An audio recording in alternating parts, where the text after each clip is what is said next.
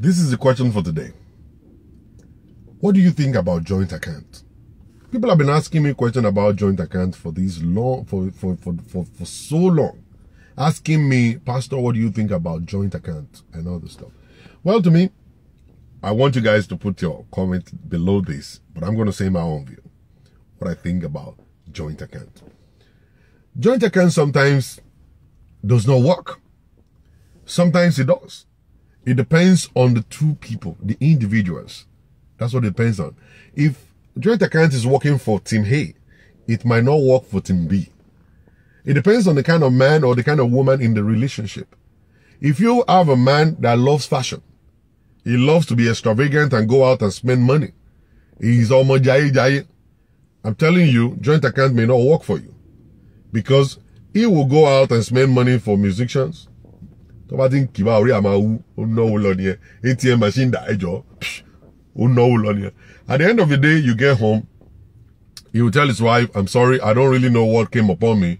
Uh, well, mo ná $500 party and stuff.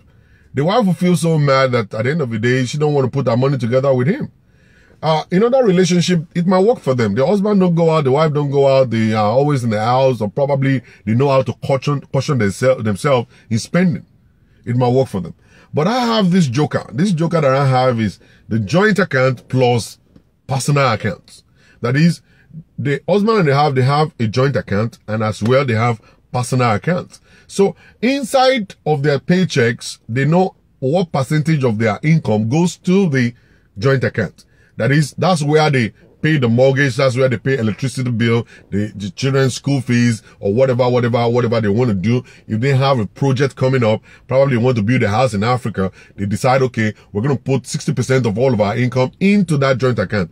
40% goes to our personal account. So when you have something to do as a wife, you don't have to tell your husband, I want $20. You go to your personal account to spend money. You want to send money to your parents, you want to send money to your sister, whatever you want to do, you go to your personal account to send that. Likewise, the husband will do the same. But when it comes to the joint account, that's where your project money is. That's where your bill money is. And that's where your savings is. You connect your savings account to your joint account. So your savings, your life insurance, your life savings, your mutual uh, uh, fund, your whatever, whatever comes out of your joint account. But at the same time, you have personal accounts. So talk about no gbogbo owó tiẹ̀ tán. Ó tán nìyẹn o. Tó bá jọ ọmọ jayéjayé tó lọ náwó ta tó ná tiẹ̀ tán lójijì. That's it. And stuff. Àmàmù gàrí ẹ̀ ni. You know. So I think that's gonna work. Either way. Either they are good people, they're not good people, they can be, whatever. Joint account plus personal account, that's to me, I think it's gonna work. So, but I want you guys to actually put your comment down if you have practiced it, if it's working for you, Let's check it out.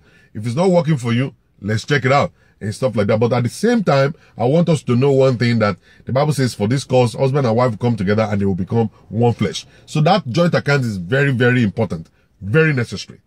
But to be on a safe ground, let's have joint account and have personal accounts.